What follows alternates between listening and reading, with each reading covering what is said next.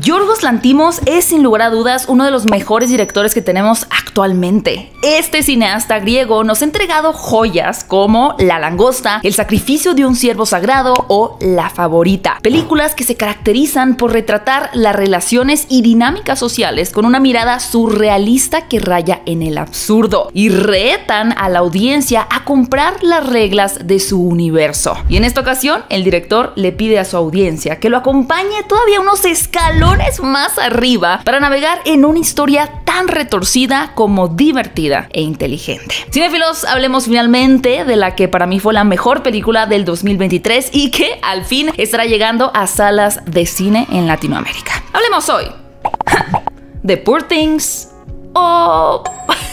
fue o Pobres Criaturas.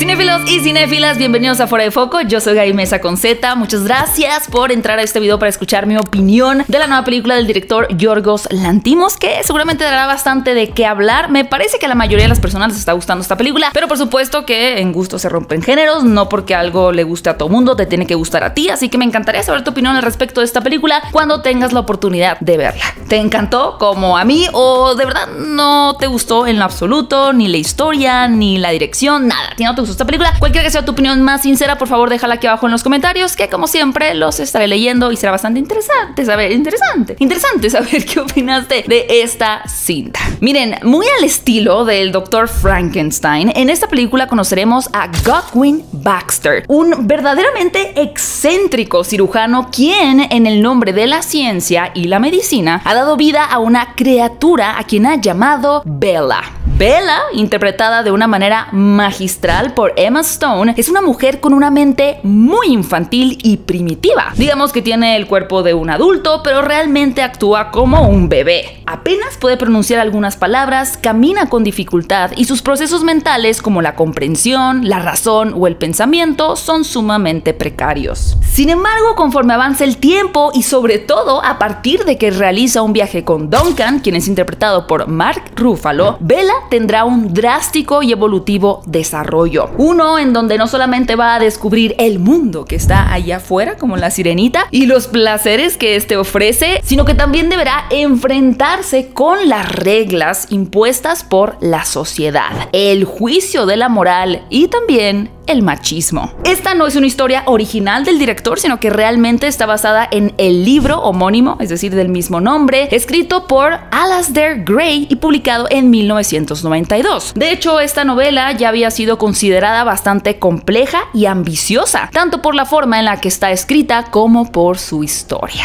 Y en esta adaptación, lo que Yorgos Lantimos, a mi parecer, ha logrado es empatar de una manera deslumbrante la historia de un ser en su recorrido hacia el conocimiento y autodescubrimiento con una estética que de verdad no deja de asombrar de principio a fin al espectador. Por un lado, Bella está dando sus primeros pasos en el mundo y para ella todo es nuevo diferente, impactante. Y de esa misma manera, el lente con el que el director nos muestra el universo que construyó a nosotros nos impacta como audiencia. Y es que cinematográficamente hablando estamos viendo una propuesta visual que se siente como ese descubrimiento hacia algo desconocido e impactante. El trabajo de fotografía por parte de Robbie Ryan es realmente impactante. La forma en la que destacan los colores, los ángulos que tiene para enfatizar la situación inusuales y el manejo del blanco y negro es hipnótico. Asimismo, eh, de verdad, el diseño de producción que se mueve entre uno gótico futurista, steampunk y una cosa victoriana es simplemente alucinante. Creo que no es un diseño de producción que pudiéramos catalogar como en una cosa en específico y eso es particularmente lo que a mí me gustó mucho.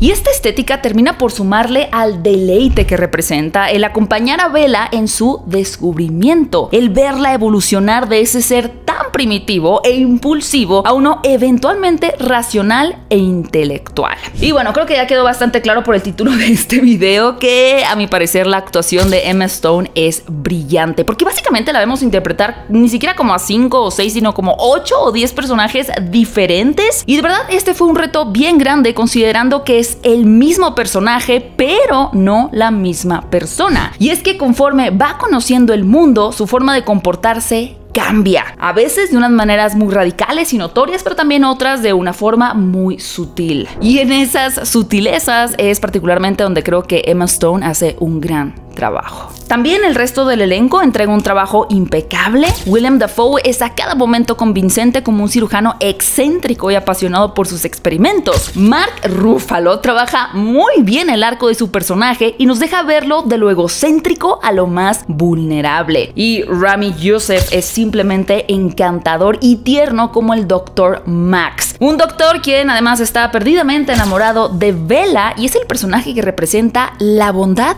sin tantos juicios. Y es que el juicio va a ser parte de la columna vertebral de esta historia. El cómo Bella tiene que moldearse y limitar sus impulsos en pos de cumplir con las normas morales y adaptarse a la sociedad. Ella eventualmente tiene que ceder al juicio de los demás, pero no sin antes cuestionarse el por qué algo está bien o mal, o incluso si ella realmente debería de moldearse ante esos juicios o confrontarlos. Ahora, también a través de la interacción que Bella tiene con diferentes hombres particularmente, el director, con una comedia muy ácida, hace una sátira también al machismo, a la manera en la que tanto hombres como mujeres buscan limitar y utilizar a las mujeres. Sin embargo, Bella evidentemente no es una mujer o una chica tradicional que corresponda a la época, sino que al ser un ser atemporal, pues va a exponer ese machismo de una manera muy divertida. Y asimismo, por si tenían planeado ver esta película con personas ah, que los hacen sentir un poco incómodos con escenas de sexo, omítanse,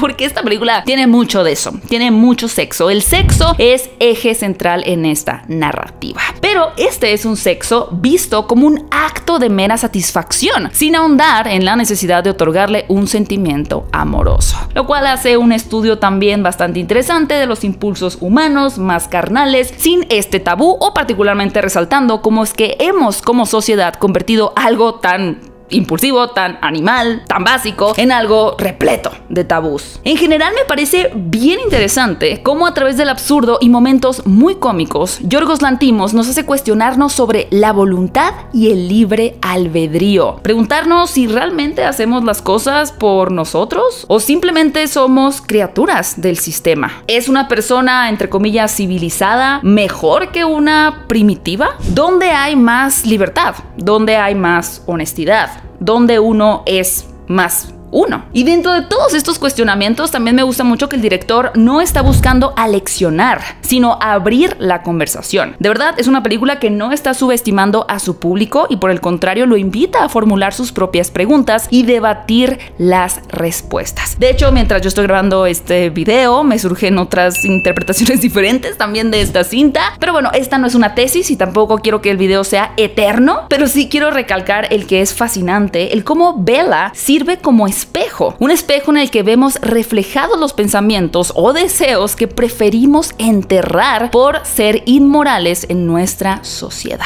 Y es que este personaje prácticamente por un buen cacho de la película pues no tiene filtro, entonces está diciendo tal cual lo que piensa, lo que siente, lo que desea, que son cosas que seguramente muchos de nosotros también estamos pensando o deseando, pero estamos siendo limitados por lo que se considera moralmente correcto o incorrecto. Además es bien interesante el cómo el director se burla de las convenciones sociales y deja ver cómo aquello que consideramos correcto es absurdo y lo que vemos como absurdo es lo más honesto y real, dejando ver de tal forma la hipocresía de nuestra moral.